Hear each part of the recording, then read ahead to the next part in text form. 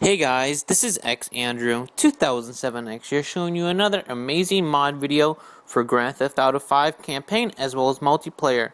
A special thanks to RSHFX as well as Filthy Knives as they both recorded and allowed me to use this footage. Both links to their channels will be in the description, so please check out their channels. Also, this is for Flash Xbox only as well as online JTAGs. So there will be a download link in the description. Alright, see ya.